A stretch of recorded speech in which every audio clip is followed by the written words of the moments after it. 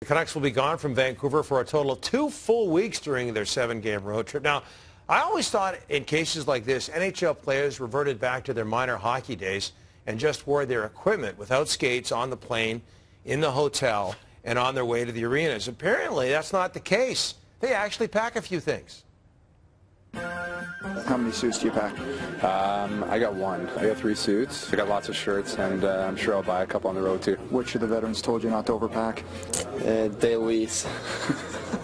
And when I travel with my fiance, she takes big makeup bags, and I think we got a couple guys on our team that might be. Uh, I don't know what they got in their extra bags, but uh, they're overpacking for me. There's a couple of guys that showed up with a duffel bag and a suit bag, like a little suit bag, and it makes you kind of wonder, like, hygiene is hygiene an issue around here? How many times do you have to do laundry on the road?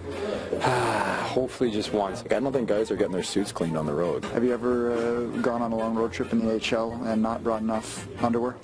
Uh, Yeah, I have. I have. sometimes you're too, uh, kind of a little bit too late to, to like switch. So Ever been on a lengthy trip and run out of underwear? Have you?